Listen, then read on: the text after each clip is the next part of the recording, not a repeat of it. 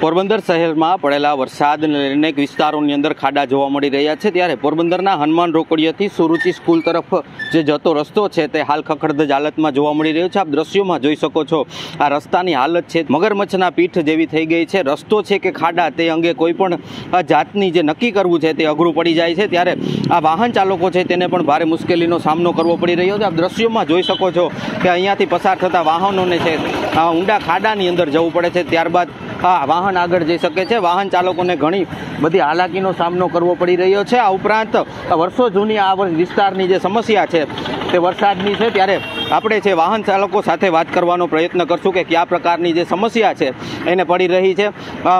આ રસ્તો કયા પ્રકારનો છે ને કયા પ્રકારની મુશ્કેલી આપને પડી રહી છે? બહુ મુશ્કેલી પડે છે આમાં ખાડામાં ને હલાવવામાં આ કેટલા ટાઈમથી આ રસ્તો આવો છે? અમે તો બહુ આ બાજુ નથી આવતા એટલે ખબર નથી પણ વરસાદના લીધે ખાડાને બહુ પડે છે. આ રસ્તાની અંદર ખાડા છે જેને લઈને વાહન ચાલકોને શું શું તકલીફ થાય છે?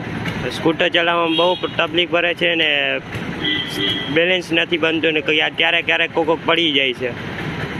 વાહન ચાલકોને ઘણી બધી સમસ્યાનો જે સામનો છે તે કરવો પડી રહ્યો છે. વાહન ચાલકોના જણાવ્યા મુજબ, આ ઉપરાંત આ વિસ્તારની અંદર સ્કૂલ પણ આવેલી છે. સ્કૂલની અંદર ઘણા બધા વિદ્યાર્થીઓ પણ અહીંયા અવર જવર કરતા હોય છે, જેને હાલવામાં પણ મુશ્કેલી પડી રહી છે. તો આ જે ખાડાની જે સમસ્યા છે તે દૂર કરવા માટે અહીંયા તંત્ર દ્વારા છે તે માટી પણ પાથરવામાં આવી છે, જેને લઈને ક્યાંક ને ક્યાંક ગારા જેવી સ્થિતિ પણ સર્જાઈ રહી છે. સાથોસાથ, અનેક વિસ્તારોની અંદર આ ખાડા પડી જતા લોકોને પણ ભારે હાલાકીનો સામનો કરવો પડી રહ્યો છે. ત્યારે અન્ય વાહન ચાલક છે, તેની સાથે પણ વાત કરશું. કાકા રસ્તાની અંદર ખાડા છે. ક્યાં કયા પ્રકારની સમસ્યા થાય છે. સમસ્યા તો ઘણી બધી છે આમાં. શું કે ખાડા પડી ગયા હમણાં જ રોડ બનાવ્યો હતો પણ અત્યારમાં આ ઉખડી ગયો વરસાદના કારણે. એટલે હવે બહુ હાલાકી પડે છે.